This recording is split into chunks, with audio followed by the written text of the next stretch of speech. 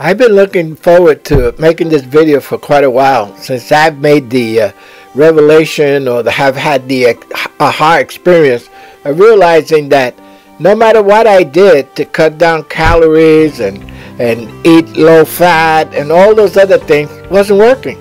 And I said, you know, this doesn't make sense. I'm doing all the struggling and I'm not really ahead of the game. And you know, as you age, the hormones are fighting you. So this video I'm calling why start a low carb high fat diet plan for weight loss. As you can see in this photo there's salmon, there's meat, there's real butter, there's coconut, there's real olive oil, there's water. This is what real eating is about. Not hunger, not starvation, not deprivation, not being on a diet is being on a smart plan that's going to help you finally really lose the weight for life. Not worried about when you go to a restaurant.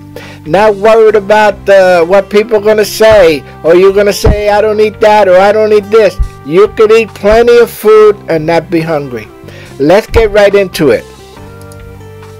We know that the idea of a diet that is high in fat is hard to wrap your head around.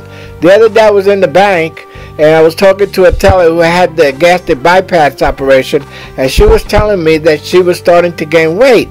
And I said to her, Well, why don't you cut out the carbs, which are 99% of your problem that's causing you the weight gain, and you'll start to lose weight again. But first, you must understand that insulin is the fat storage hormone. A lot of people don't understand, and I, frankly, until recently, I didn't understand. All I knew was people shoot themselves up with insulin to keep the sugar levels down. But listen to this. If they don't take in carbohydrates, which are basically sugar, they don't need uh, insulin because there's enough insulin in their body. What happens is when you got too much sugar in the form of carbohydrates, you get insulin resistance. And you can see in this diagram, is this you?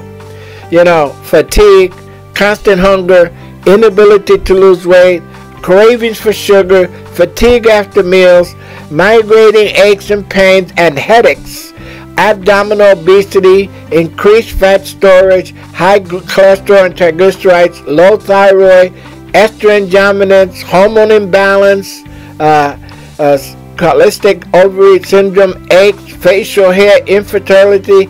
You know, men and women both suffer from the ravages of carbohydrates. Carbohydrates cause a spike in insulin secretion and increase cravings and increases stores of fat. Low carbohydrates reduce calories by reducing your cravings for foods. And the reason that it does that is because fat it has what they call satiety. It gives you satisfaction. It gives you a feeling of fullness. You're not suffering hunger pains. You know, carbohydrates are not essential elements in the human body. You can live without carbohydrates, but you can live without protein and fat. Look at this diagram. Eat real fat to promote fat burn, build muscle faster, curb cravings for junk food, supply your body with essential nutrients, better absorb certain vitamins and antioxidants, and prevent nutrient loss during cooking. You know, what these foods are basically eaten raw.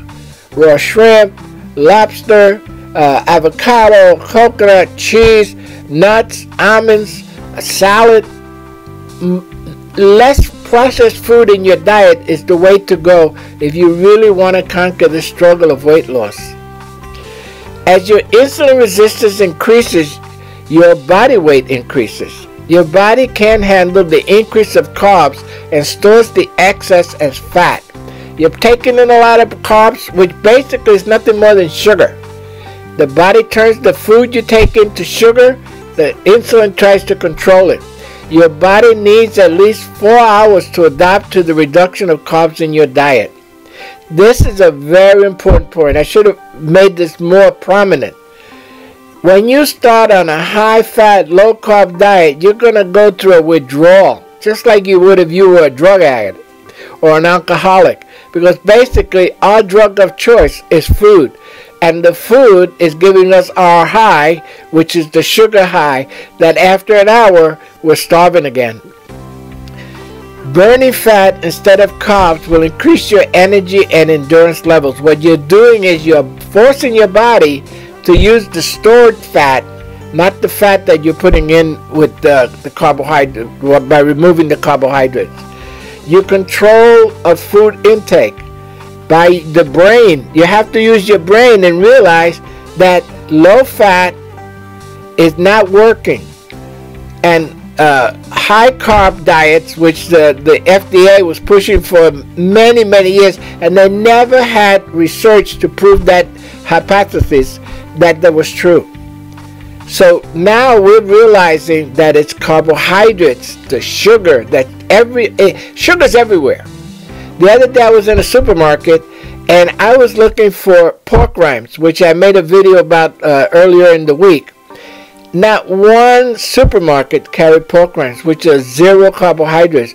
But do you know how many thousands of bags of potato chips and pretzels and fattening things full of grain and flour products? There was all over the place because there's a high profit in that kind of food.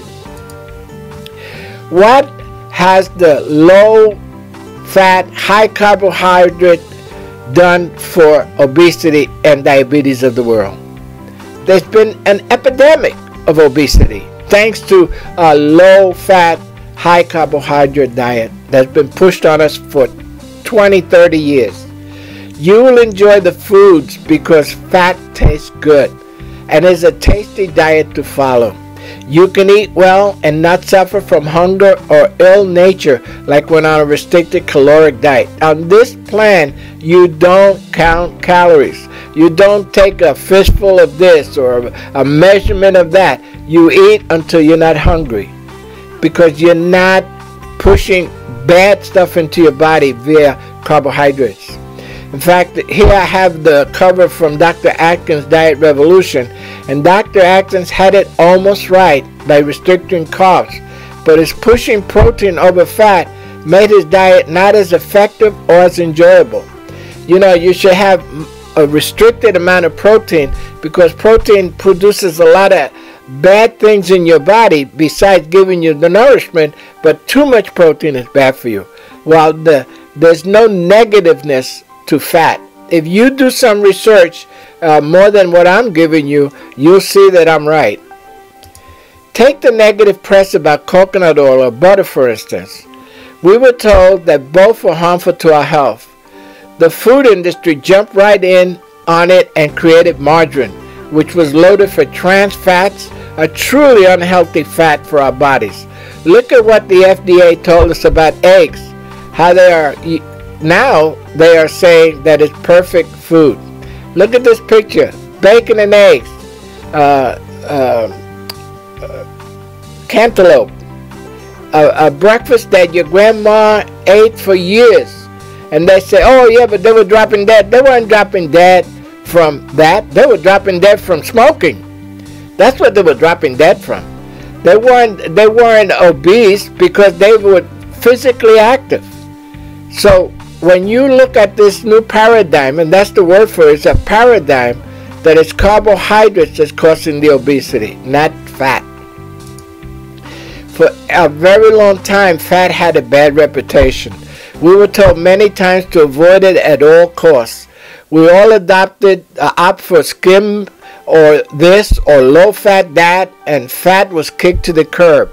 Now it is being reported that fat is no longer evil. In fact, look at this picture of the New York Times uh, saying, eat butter. Scientists labeled fat the enemy, why they were wrong. Saturated fat found in foods like red meats and other rich protein sources actually increases free testosterone levels that help repair tissue and maintain muscle mass. You know, as I was telling you about that girl in the bank, when I said uh, eat more fat, they were, ooh, that's going to make you fat. But that's not the truth. Carbohydrates make you fat. Insulin makes you fat.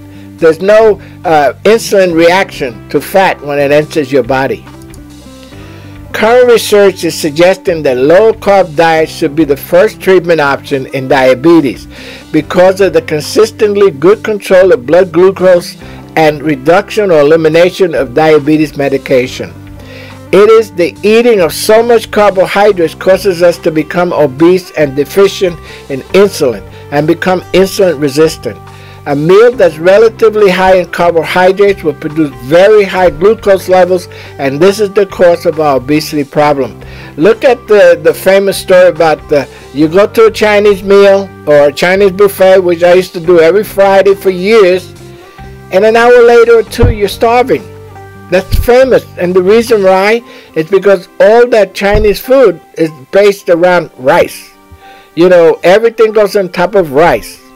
And it's that rice that turns into sugars in your body that causes that spike in insulin that an hour or two later you're starving.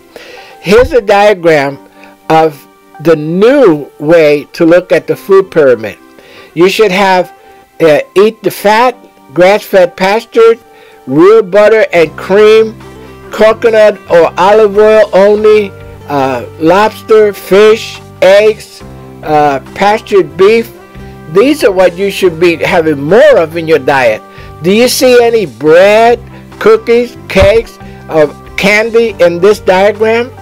If you want to lose the weight and die young at a very old age, this should be what you're looking for. Make fat of 40% of your diet protein and then add about 10 or 15% of uh, carbohydrates in the form of leafy vegetables, fruits and nuts. And nuts is also a thing that got a bad rap. When you go to eat nuts, I'll give you a secret. Get a handful of nuts, put the jar away or the can, and walk into another room.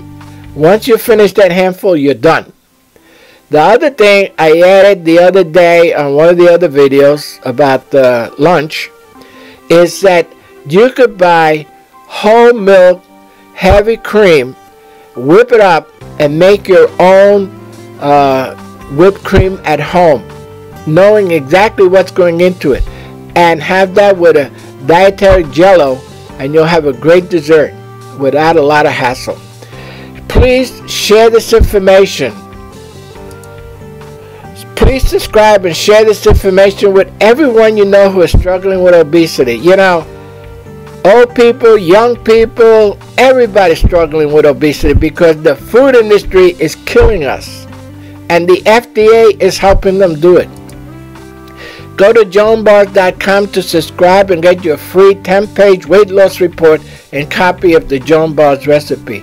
Our Joan Bars recipe is a 100-calorie recipe meal that you eat every two hours and then have a salad and some protein at night with some fat, of course. Go to SaturdayDiet.com to learn about our weight loss e-course packages. And don't forget to like us on Facebook. See you on the next video. Put some comments below in the comment section and please share this information. Put the word out. Let's fight this struggle of obesity in this country and abroad. Bye-bye.